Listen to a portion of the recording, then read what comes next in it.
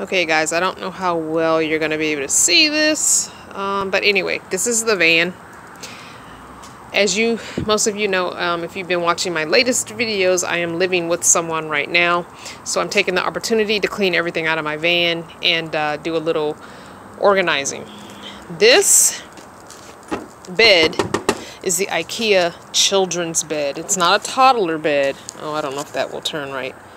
I'm not sure which way to turn this new phone so you get a widescreen, so you're probably not going to have a widescreen on this video. Uh, I do have some camping items under it. Uh, it is about, uh, I don't remember the length on it. I will put a link to the actual IKEA ad for it so you can get all the dimensions. But as you can see, I still have a little bit of room here for items and I am emptying it out so you won't see everything. Once I get it cleaned and stuff put back in a little neater, then I will show you. The main reason I'm doing this video is because I had filmed how I use the Harbor Freight blankets, but the old phone turned into a brick and I lost all the footage. So this is basically why I'm doing this. These are the Harbor Freight moving blankets, okay? This one was one that was cut in half I made a hem by hand, a very rough, rudimentary hem, just completely ugly, and I put it on a bungee cord. I also have binder clips that I clip it up to get rid of the gap. So this one is just a cut in half Harbor Freight blanket. On the side, I have a folded in half Harbor Freight blanket and another folded in half Harbor Freight blanket again on two different bungees so that one when one slides which this one doesn't when one slides it slides behind the other to give me a nice two layer thickness. And it's two layers too because it's folded in half.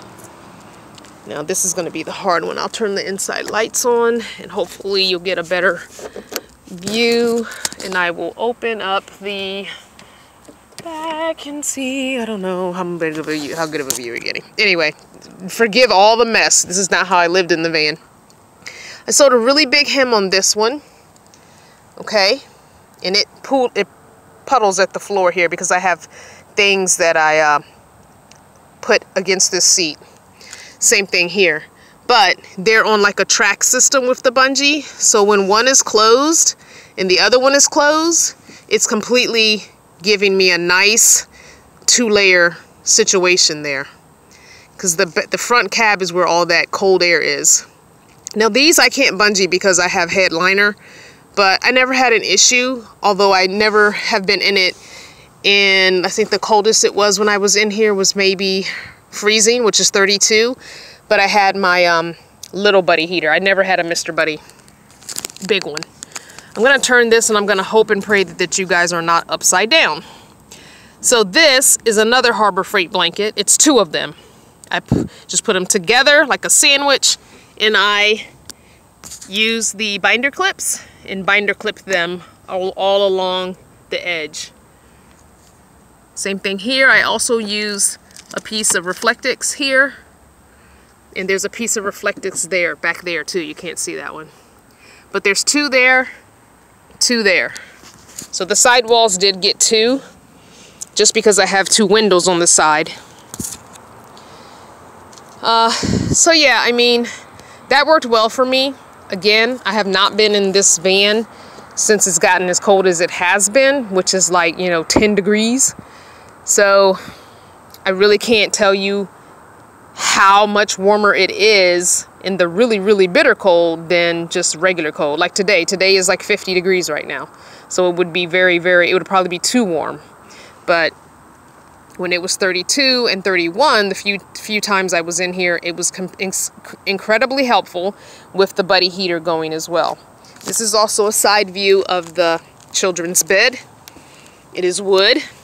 I have mattresses on it. One is a three inch foam from um, Home Depot. This is a Snuggie. It's one of the things I couldn't get rid of. It's a Snuggie, but it's Pac-Man, which is always my favorite video game growing up. This is another mattress, a little small one-inch mattress, and it has slats. The IKEA bed has slats, so you don't have to worry about drilling holes. It already has slats. But it's fairly long. I mean, look at it. I'll show you where my seat is. This is the seat beginning, and this is how long it is. So only really my feet hung off, which is why the mattress is so long. And I just sat something under here. So there was a, um, a water container that sat under here and it gave me just enough length for my feet and you know and maybe I had like a maybe this much more foot if I laid flat on my back hanging off which wasn't bothersome to me because I am a side sleeper so it wasn't bothersome you know you know raised up a little which was a little bit ir irksome but not so much so that you know it bothered me so much I mean it wasn't that bad so stay tuned for upcoming videos. It might take me, uh, you know, a few weeks to decide what I'm going to do as far as cleaning up and whatnot and rearranging in here. I have been, again, toying with the idea of bringing the bed and putting it at the sliding door side and just not using the sliding door at all anymore. Uh, yeah, we'll see. I've tried that a couple times and it doesn't work for me because at some point I always want to get in through the sliding door for some reason to put something away or whatever, but I'm debating. I'm debating about just blocking this door. It's the only door I have. It's the only sliding door I have. So it's a nuisance only having one. I just feel like I'd have more room here because it's the passenger seat. So the passenger seat is slid all the way up. Whereas the driver's seat, I can't slide it all the way up because I need to be able to drive. So I feel like if the bed were on this side, I'd have all that extra space at the foot of the bed or at the head of the bed, depending on where I, you know, if I slide the bed all the way this way or if I slide it all the way that way, whatever. I might do that. We'll see. So thanks for watching. Stay tuned for some planner videos, some random thought videos. I'm trying to do a video a week. We will see how long that lasts. It's a little easier in the winter because you're cooped up inside a lot more. But when spring and, and summer cut get here, you're out and about doing more with family and friends, and you really don't want to be tied down to making videos. Which is why I don't get into the editing software and editing videos. I don't do all that. I film it on my cell phone and I upload it, and boom, that's that's what you get. All right, guys, thumbs up, like, subscribe.